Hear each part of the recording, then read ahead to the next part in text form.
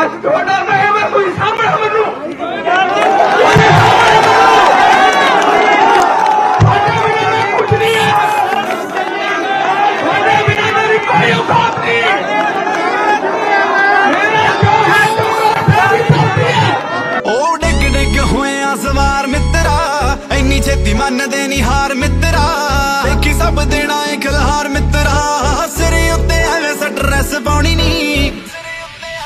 ਉਹ ਬੇਬੇ ਕੋਲੋਂ ਦੇਖੀ ਸਟਰਗਲ ਨਹੀਂ ਜਾਂਦੀ।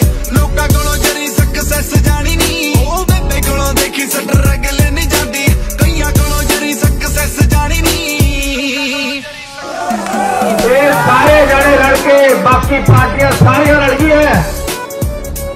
ਚਮਕੌਰ ਸਾਹਿਬ ਦੇ ਲੋਕਾਂ ਨੂੰ ਦਬਾਉਣ ਨੂੰ ਫਿਰਦੀਆਂ ਜਦ ਤੱਕ ਚਮਕੌਰ ਸਾਹਿਬ ਦੇ ਲੋਕ ਮੇਰੇ ਮੋਢੇ ਦੇ ਨਾਲ